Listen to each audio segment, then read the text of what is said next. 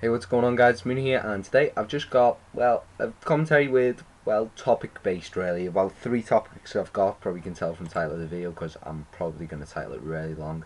First topic is PlayStation Network being down. I'm not really going to drag, drag that on too much. It's been down for what, eight days now I'm doing the commentary. Um, I don't really mind because I've got to concentrate on revision, but sometimes you know you just want to go on Ultimate Team and maybe trade players and stuff and get involved in Team of the Week and that. But unfortunately, we we can't do that. I say I, we, the PlayStation users can't do that because things that happen. But hopefully they can work work hard and get it back up soon, and hopefully we can be enjoying FIFA again. And that's well, you'd say that's the main reason I haven't been making videos, but I've been busy, as I said, guys. Got lots of exams coming up, so not going to be making a ton of videos, but I'll try and get as many else as possible. Now, the next topic, which will take up the chunk of the video, is Team of the Year. Now, many Team of the Years have been announced. I don't think loads of them have been actually, um, what would you say, qualified or officially announced, sorry. Um, but because people are still taking votes on that. But the ones that stand out to me so far there's there's team of the year for leagues like Bundesliga, Premier League, and that, and then it's underrated and most improved. Uh, the ones that stand out for me is, well, as a Liverpool fan, Pepe Reina's finally getting an inform. He's going to an 87. Um, Martin Kelly, I think it's about time he got an inform. I know he's been injured, but uh, the way he's been playing, when he wasn't injured, he was fantastic. Martin Kelly's getting an inform. He could either go to a high 70 or an 80.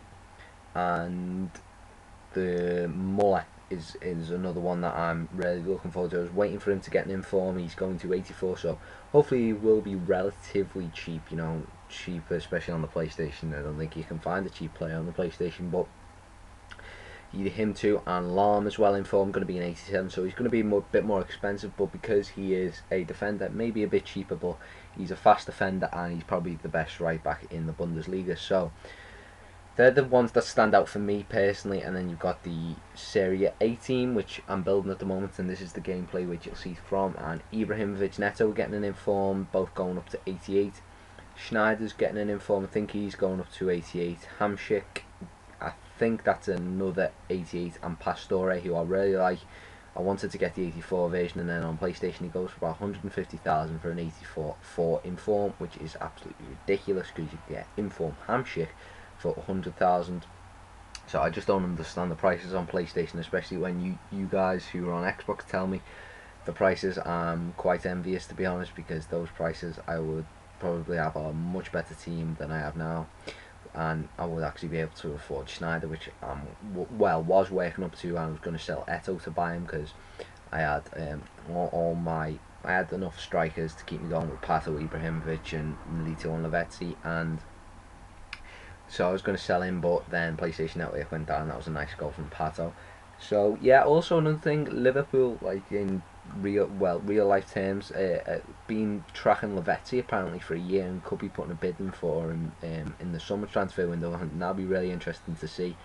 And so guys, if you want to see any of the team of the years, I'm gonna link every single one in the bottom, and TOTY means team of the year and I'll put like Bundesliga and then the link and then you can go and view the link. I'll find them for you guys. I'll probably may yeah I'll find them. I'll I'll edit I'll edit the description when the video is uploading. And the final topic is the arguing in the FIFA community once again.